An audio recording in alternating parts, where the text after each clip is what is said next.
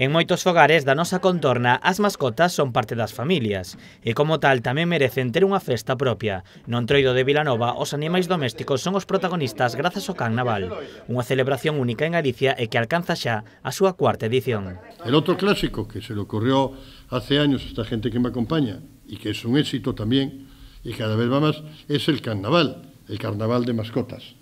Y que cada año tiene más gente. De hecho, hubo una época que lo hicimos en verano, pero ahora ya quedó instaurado para el próximo, el próximo sábado, es el próximo sábado, la víspera del Momo, se dedica a las mascotas y a sus dueños que pueden ir disfrazados conjuntos ou de forma separada e con varios premios. No, no carnaval entreganse tres premios, ao disfrace máis orixinal, ao máis gracioso e o máis importante, a mellor combinación entre a mascota e o dono. Hai tres, eh, tres premios, el máis creativo, e logo hai uno que é quizá el máis importante para nosotros, que es el, el conjunto dueño mascotas, ¿no? Entonces ahí vienen una serie de, gente que, que, bueno, hacen esa, ese tema. Entonces va a haber una pasarela, va a haber una serie de premios como aquí están recogidos, y eh, esperamos superar las 200 personas que hemos tenido el año pasado, participantes, no asistentes. Eh.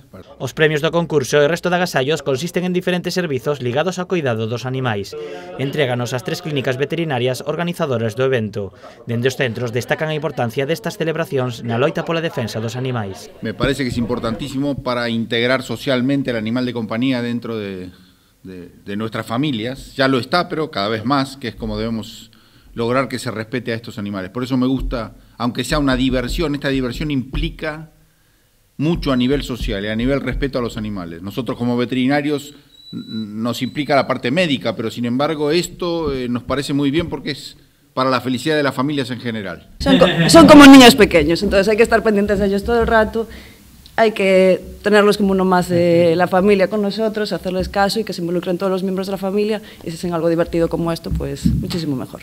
O Carnaval terá lugar o sábado 29 ás 17 horas no pabillón multiusos de Vilanova. Ao celebrarse en cuberto non hai risco de que se poda aprazar por mal tempo.